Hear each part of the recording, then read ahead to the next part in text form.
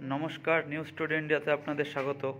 বর্তমানে আমরা রয়েছি পাঞ্জিপাড়া তৃণমূল সদর কার্যালয়ে। মাননীয় মুখ্যমন্ত্রীর মম- মমতা বন্দ্যোপাধ্যায়ের জন্মদিন উপলক্ষে অঞ্চলের অঞ্চলের তৃণমূল কার্যালয়ে কেক কেটে সেলিব্রেশন করছে মাননীয় মুখ্যমন্ত্রীর জন্মদিন হিসাবে। সেই অঞ্চলের তৃণমূল সভাপতি ফিরোজ খান।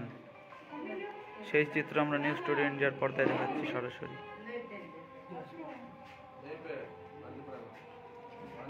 যারা নতুন করে যুক্ত হলেন, তাদেরকে আবার জানিয়ে রাখি, বর্তমানে আমরা রয়েছি পাঞ্জিপাড়ার তৃণমূল কার্যালয়ে।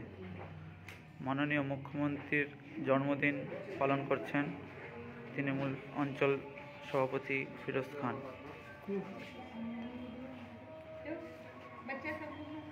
বলছি দাদা আজকে কার জন্মদিন পালন করছেন? আমাদের রাজ্য নেত্রী মমতা বন্দ্যোপাধ্যায়ের জন্মদিনে আজকে পাঞ্জিপাড়া অঞ্চল কমিটির অফিসে ওনার নামে ওনার জন্মদিনে কেক কাটা হচ্ছে। কি মেসেজ দিবেন এখান থেকে কেক কাটার মাধ্যমে? কি মেসেজ দিবেন এখান থেকে বা বার্তা দিবেন?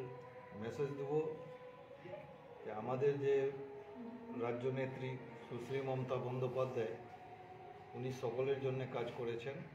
আমি চাইব পুরো পশ্চিমবঙ্গের লোক পাঞ্জিপাড়ার বিশেষ করে পাঞ্জিপাড়ার লোক ওনার পাতাকার তলায় আসুক আর ওনার যে ডেভেলপমেন্টের কার্য আছে ওই কার্যটা সবাই আজকে এখানে জন্মদিন পালন করলেন।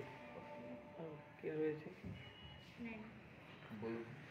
आज के आज का किसका बर्थडे सेलिब्रेट हो रहा आज है हमारी ममता दीदी का बर्थडे है उन्हीं की खुशी में केक काटा जाता है आ, सबके साथ बच्चों के साथ सेलिब्रेट कर रहे हैं सीएम का बर्थडे है इसलिए ब- हाँ celebration- इसलिए सेलिब्रेट कर रहे हैं ठीक है ठीक है বর্তমানে আমরা রয়েছি পাঞ্জিপাড়া তৃণমূল কার্যালয়ে মাননীয় মুখ্যমন্ত্রীর জন্মদিন হিসাবে পালন করা হচ্ছে এখানে দেখতেই পাচ্ছেন তৃণমূলের কর্মীরাও রয়েছে সাথে।